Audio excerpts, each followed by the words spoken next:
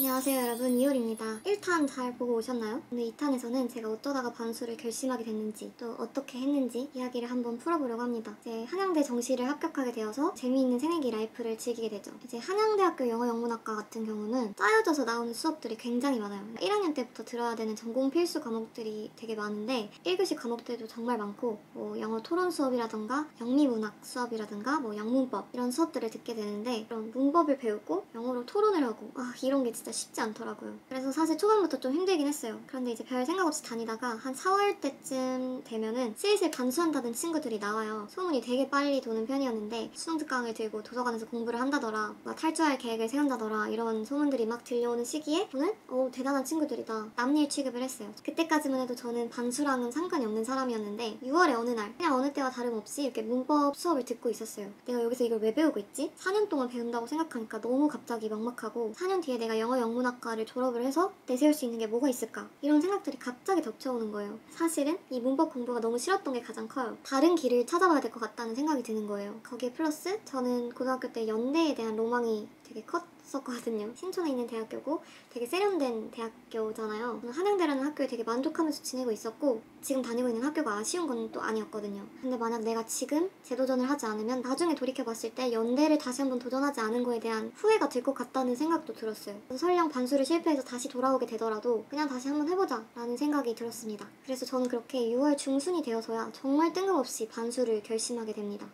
그래서 정말 빠르게 재종학원부터 알아봤어요. 비록 저는 정시 파이터였지만 민간인으로 살아온 세월이 있었기 때문에 다시 이 수능 수험생의 마인드로 돌아가는 게 쉽지 않겠다 싶어서 이 공부 습관을 빠르게 잡는 게 학원에 들어가는 게 최고겠다 싶었어요. 사실 재종학원이 되게 비싸요. 그런데 제가 알아봤을 때는 그렇게 학교를 다니고 있는 재학생들, 일정 레벨 이상의 학교를 다니고 있는 재학생들이 반수를 준비하면서 학원을 등록하면 수업료를 50%에서 100%까지 지원해주는 그런 학원들이 있다는 거를 알게 되었어요. 그런 장학금이 있는 대부분의 학원들에서 100%를 면제해주는 상황이었고 제가 원해서 하는 반수인데 부모님께 손을 벌리기가 너무 죄송하니까 그런 장학금을 받을 수 있는 학원을 가야겠다 해서 이제 신촌에 있는 어느 재종학원을 등록을 하게 돼요. 저는 일산에 살기 때문에 한 3, 40분 걸리는 거리였는데 수업료는 100% 면제받고 급식비, 교재비, 그리고 셔틀버스 이 세 가지만 부담을 하고 다니게 되었어요. 사실 반수를 결심한 이상 하루라도 빨리 공부를 시작하는 게 맞는데 재종학원 시작하기 전까지는 나는 민간인 life를 즐길 거야 이런 요상한 생각을 가지고 있었어요. 그래서 사실 학원 들어가기 전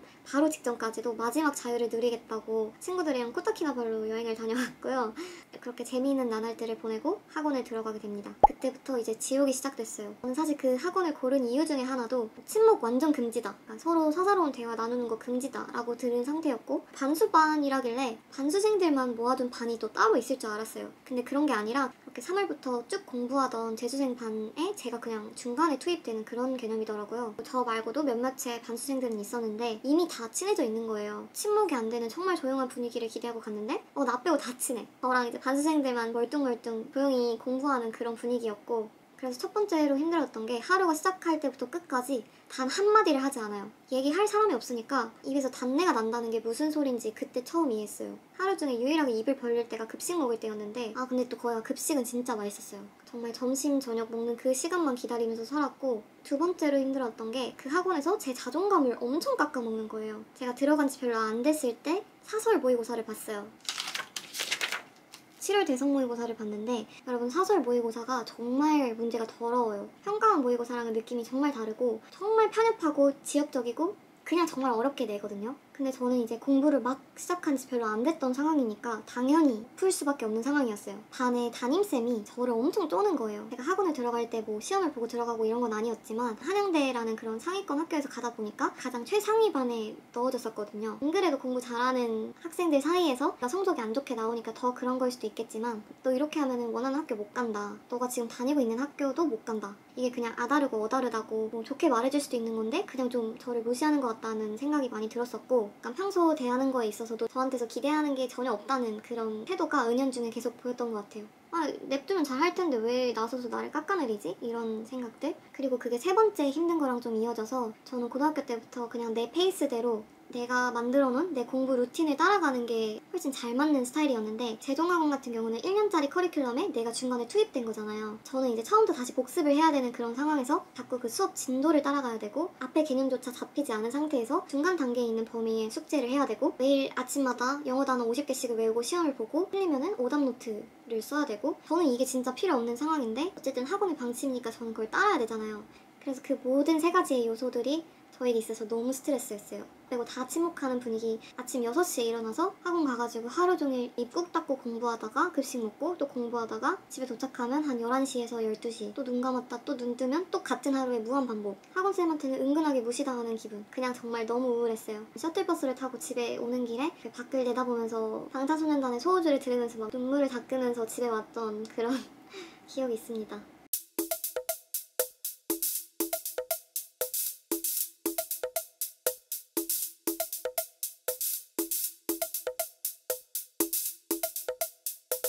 내가 여기서 버텨봤자 나에게 도움이 될 것이 없겠다. 저는 학원을 그만두겠다고 말씀을 드려요. 그런데 여기서 또 일이 생깁니다. 저는 반수생이었기 때문에 9월 모의고사가 사실상 처음이자 마지막으로 제대로 볼 수 있는 그런 평가원 모의고사였거든요. 그래서 그 모의고사가 되게 중요한 시험이었고 학원에서 모의고사를 보려고 접수를 해놨었죠. 이제 뭐 급식비나 셔틀버스비 이런 거를 월말에 맞춰서 딱 끊는 게 가장 깔끔하기 때문에 8월까지만 다니겠다고 말씀을 드린 상황이었는데 제가 더 이상 그 학원생이 아니기 때문에 학원에서 모의고사를 볼 수 없다 홍보를 하시는 거예요. 그런데 사실 그 학원에서 외부인 접수생도 봤거든요. 어쨌든 저는 접수비도 냈고 저에게 할당된 수험 번호와 자리도 있을 텐데 학원을 모의고사 보기 며칠 전에 그만뒀다고 그 모의고사를 못 보게 한다는 게 아, 그냥 말이 안 되는 거예요. 그리고 말했듯이 저한테는 너무 중요한 시험이었기 때문에 그 시험을 못 본다고 생각하니까 스트레스를 받기 시작하는 거예요. 제가 그것 때문에 그 제동 담임이랑 학원 부장쌤 이런 쌤들 찾아와가지고 제발 한 번만 나 그냥 시험 보게 해줄 수 없냐 이렇게 정말 사정사정을 했는데도 안 된다. 너무 단호하게 그러셔가지고 아 그러면 내가 퇴원을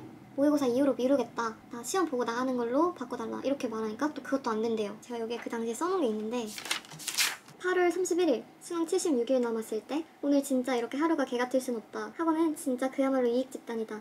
어제는 학원생이니까 시험 볼 수 있고 내일은 학원생 아니니까 시험 못 보고 심지어 퇴원을 미루려 해도 안 될 것 같다고 하고 내 자리 하나 만들어주는 게 뭐가 그렇게 어려운 건지 진짜 퇴다 개 싫어 이렇게 적어놨더라고요. 제가 고3 담임쌤한테도 연락을 해봤어요. 제가 이런 이런 상황인데 남는 문제지로 그냥 실전 상황에서 시험만 혹시 같이 볼 수 없겠냐. 쌤도 어떻게든 저한테 도움을 주고 싶었지만 어렵게 됐다 이렇게 답변이 오고 이랬었어요. 그러다 결국에는 어찌저찌 잘 마무리돼서 그렇게 저한테 스트레스를 줘놓고 결국에는 보게 해줬습니다. 9월 모의고사. 나름 이렇게 괜찮게 봤는데 난이도 자체는 좀 쉬웠던 모의고사였어요. 저는 그렇게 학원을 그만두고 독학 재수학원으로 옮기게 됩니다. 제 친구가 다니던 독재 학원이었는데 허름한 건물에 있는 허름한 학원이었고요. 20명 정도 있는 되게 소규모의 학원이었어요. 내 페이스대로 공부할 수 있고 그러니까 여긴 친구도 있으니까 친구랑 같이 밥도 먹고 떠들고 할 수 있는 게 되게 위안이 됐어요. 그때가 가장 탄력을 받아서 열심히 했던 시기였던 것 같아요. 아, 웃기다. 그리고 이때부터 저는 다이어트를 시작합니다. 그냥 이 어차피 감금되어 있는 시간 동안 내가 살을 쫙 빼고 수능 끝나자마자 예쁜 옷 입고 다녀야겠다. 정말 그지 같은 생각을 하게 되죠. 여러분은 이러지 않았으면 좋겠어요. 월요일부터 금요일까지는 뭐 나물, 미주라 토스트 아니면 현미밥 그리고 뭐 단백질 종류의 고기나 이런 것들을 코딱지만큼 싼 그런 도시락을 먹고 토요일마다 내가 먹고 싶은 빵이나 그런 음식들을 사 먹는 루틴이었어요. 그리고 토요일에는 그렇게 맛있는 거 많이 먹고 저녁에 사이클을 탔죠. 제가 말씀드렸다시피 저는 과민성 대장 증후군이었기 때문에 그렇게 먹으니까 배 아픈 건 덜해서 되게 좋았고 수험생이 다이어트 하는 게 되게 힘든 건 맞는데 되게 많은 절제 속에 살다 보니까 오히려 더 쉬웠던 건 있었어요. 이 이해가 가시려나? 저는 돌이켜봤을 때 다이어트 한 걸 후회하는 게 아니라 아, 너무 초절식을 했었던 것 같아서 그게 좀 음, 멍충이 같은 행동이었다. 저는 여기서 또 다시 한번 자리를 옮기게 돼요. 제가 너무 예민한 개복치인 것도 사실 맞아요. 그 학원을 그만둔 이유는 두 가지였는데요. 첫 번째로는 내가 내는 돈에 비해서 뭔가 관리가 하나도 안 되고 있는 느낌? 학원비가 아마 30만 원인가 20만 원인가 그랬어요. 거기 이제 앉아 계시는 아마도 대학생 알바였던 것 같은데 조교쌤이 그렇게 저한테 큰 도움이 되지도 않았고 학원의 기강이 잘 잡혀있는 느낌도 아니고 뭐 외출하거나 이런 거 하나도 관리가 안 돼 있고 어, 너무 가성비가 떨어지는데? 두 번째 이유는 재수생이랑 삼수생 남자분들이 계셨는데 쉬는 시간이나 점심시간에 나가서 담배를 아주 진하게 피고 들어오셨어요. 작은 방 안에서 공부를 하고 있다 보면 그분들한테 풍겨오는 담배 냄새가 저는 너무 힘들었어요. 그래서 저는 그런 이유로 9월만 그렇게 다니고 또 10월에 독서실로 옮기게 돼요. 독서실로 옮겼다. 이제 정말 환경 탓도 못함. 제가 다니던 독재학원에 같은 건물에 있는 독서실이었는데 거기가 이제 제가 고등학교 때도 다니고 이랬어가지고 익숙한 독서실이었어요. 이렇게 문 열고 들어가서 나 혼자만 앉아있는 그런 큐브형 독서실이었고요. 에어컨도 나오지, 주변은 막혀있지 처음에는 너무 좋았어요. 이틀 동안 정말 빡공을 했죠. 그러다가 정신을 놔버리기 시작합니다. 국어를 문학, 비문학 이렇게 딱 풀어요. 그러고 나서 어, 잠깐 쉬어야지 하고 하루 종일 핸드폰을 하기 시작하는 거죠. 이래서 자유가 무섭습니다.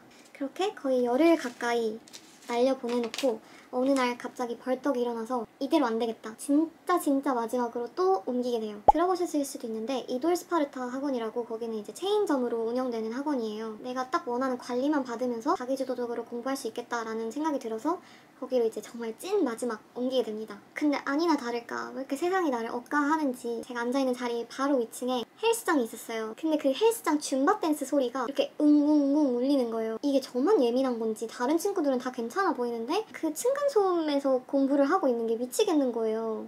제가 거기서 또막 다른 곳을 찾아 나설 수가 없잖아요. 그래서 제가 학원에다가 제발 부탁드린다. 자리를 한 번만 옮겨주세요. 이렇게 해가지고 그 자리를 옮기고 그때부터 저는 더 이상 될 수 있는 핑계도 없었고 되고 싶은 생각도 없었어요. 정말. 그 학원에서 나오는 급식도 있었는데 저는 그 급식을 신청하지 않고 제가 계속 먹었던 그 다이어트 도시락을 챙겨 다녔고요. 급식을 먹지 않는 학생들은 외출이 가능했거든요. 밖에서 먹고 올 수도 있기 때문에 저는 사실 학원에서 도시락을 다 먹은 다음에 집으로 막 달려가가지고 거기서 화장실도 가고 그리고 진하게 잠을 자고 다시 일어나서 학원에 가서 공부를 하고 이랬었어요. 이 up down은 있었지만 나름 공부 열심히 했었고 졸라 배고프고 진짜 공부하기 싫다. 다이어트 때려칠까? 샹.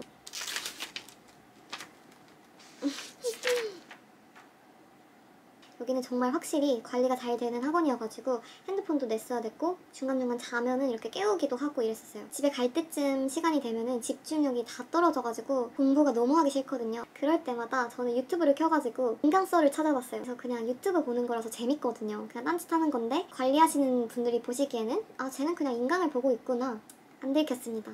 정말 야같죠? 이제 11월 말이 되었고 잡았던 목표는 서울대학교 의료학과 그리고 연세대학교 언론홍보 영상학부 이렇게 썼었네요. 이때 현역 때와 마찬가지로 점점 의지력을 잃어가면서 내가 어느 정도 공부를 다 끝냈다고 생각을 하니까 기강이 해이해진 것 같아요. 그리고 이때는 제가 약하다고 생각했던 부분들을 마지막으로 짚어보던 시기여가지고 뭐 국어에서는 고전시가 그리고 한국사 복습하고 수학에서는 킬러 문제 맞출 수 있게 현우진 드릴 좀 열심히 풀고 현우진 쌤만의 그 특유의 미적분 풀이 방식이 있거든요. 제 수학 인생은 정말 현우진 전과 후로 나뉜다고 할 수 있을 정도로 너무 도움이 됐어요. 그래서 저는 현우진 쌤 정말 강추드립니다. 드디어 또 수능 날이 왔습니다. 여기 논술 다 제끼자 써놓은 거 보면은 제가 분명히 그때 수실 카드를 또 썼던 것 같은데 어디를 넣었는지 기억이 안 나요. 대망의 수능 날 실패하게 되더라도 이게 다 경험이다. 나중에 돌아가서 후회할 일만 없게 하자 이런 마인드로 반수를 지내왔지만 반수를 실패하고 학교를 돌아간다는 게 되게 공포였어요. 동기들이랑 다시 머쓱하게 인사하고 이런 것보다는 내가 이 스무 살의 절반이라는 시간을 투자를 한 거잖아요. 그 시간이 다 헛된 시간일까봐 지금 이 모든 정신적 고통 그리고 비용들 이게 다 헛수고로 돌아갈까봐 마음가짐은 음 괜찮아 그냥 나중에 후회 안 하려고 이러는 거지 라고 생각을 해도 어쩔 수 없이 그 스멀스멀 있는 불안감이 있었거든요. 그래서 거의 현역 때보다 거의 두 배의 부담감을 안고 수능장에 갔었어요. 수능 치는 장소가 재수생 친구 두 명이랑 겹쳐가지고 그 친구들이랑 사이좋게 시험을 봤었고 첫 시간에 국어를 치는데 진짜 너무 어려운 거예요. 보통 화장만에 15분 정도를 투자한다고 생각을 하는데 어 이게 점점 한 20분이 넘어가도록 안 풀리는 거예요. 헷갈리는 문제가 너무 많다. 화장문에서부터. 그때부터 멘탈이 점점 깨지기 시작해요. 문학이랑 비문학 분명히 어려운 지문이 있고 덜 어려운 지문이 있어야 되는데 그냥 어려운 지문 끝났다 하면 어려운 지문 계속 어렵기만 한 거예요. 이렇게 1교시를 딱 끝내고 저희 재수생 친구들과 복도에 모였죠. 같이 복기를 해봤어요. 근데 이게 우리만 어려웠던 건지 남들한테도 어려웠던 건지 분간이 안 가는 거예요. 반에 앉아있는 애들 표정 보려고 하는데 어 그냥 다들 잘본것 같고 다들 표정이 멀쩡해요. 그래서 헉, 큰일 났다. 이건 우리만 망한 거다. 그러니까 대충 이렇게 찍어서 낸 문제들이 있잖아요. 푼 거를 다 맞추고 뭐 찍은 것도 몇 개 맞춘다고 해도 90점을 넘길 수 있을까? 90점도 못 넘기면 1등급은 물 건너 간 건데 근데 국어가 1등급이 안 나오면 난 반수 망했네. 그때부터 아 나 반수 망했다. 나 이번 수능 조졌다. 확신이 드는 거예요. 그냥 대충 머릿속에 있는 예상 점수로 1등급이 안 나올 것 같은 거예요. 그때부터는 멘탈이 그냥 나가가지고 그냥 눈물과의 싸움이었어요. 시험 보다가 울면 안 되는데 자꾸 막 눈물이 차올라가지고